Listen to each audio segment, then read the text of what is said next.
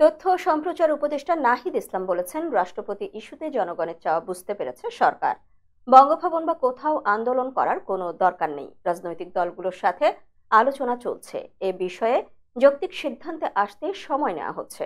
বুধবার দুপুরে সচিবালয়ের সাংবাদিকদের তিনি এসব কথা বলেন। তথ্য ও সম্প্রচার উপদেষ্টা বলেন, রাষ্ট্রের স্থিতিশীলতা এবং নিরাপত্তার স্বার্থে রাষ্ট্রপতিকে নিয়েই সরকার গঠন করা হয়েছিল। যদি মনে হয় এই অবস্থায় সরকারের রাষ্ট্র পরিচালনা ব্যাহত হচ্ছে বা জনগণ এই ব্যবস্থায় অসন্তুষ্ট, তখন এই বিষয়টি ভাবা হচ্ছে। তিনি জানান, রাষ্ট্রপতি থাকবেন কি থাকবেন না এই প্রশ্নটি বাংলাদেশে কোনো আইনি বা রাজনৈতিক সিদ্ধান্ত নয়। এটি একেবারেই একটি রাজনৈতিক সিদ্ধান্ত। তাই রাজনৈতিক সমঝোতা এবং জাতীয় ঐক্যমত্যের ভিত্তিতে সিদ্ধান্ত নেওয়া যেতে পারে। সরকারের পক্ষ থেকে বিভিন্ন অংশীজনের সাথে আলোচনা করা হচ্ছে। আলোচনার মাধ্যমে এই বিষয়ে সিদ্ধান্ত আসবে। এক্ষেত্রে রাষ্ট্রের স্থিতিশীলতা, নিরাপত্তা এবং শৃঙ্খলাকে গুরুত্ব দেওয়া হচ্ছে।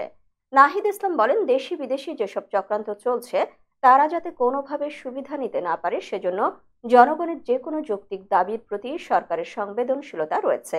এ সময় পতিত ফ্যাসিবাদী শক্তির বিরুদ্ধে ঐক্য গড়ে তুলে জনগণকে সচেতন এবং শান্ত থাকার আহ্বান জানান তিনি।